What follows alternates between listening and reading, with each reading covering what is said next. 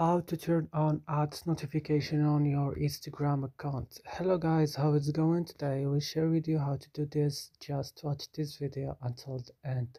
So let's start. First you will just open your instagram account.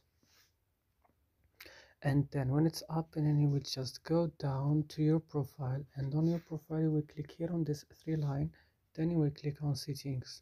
And on settings you will go directly to notifications then you will go to from instagram and you will find here ads. You will click on and that's it. It will work with you directly.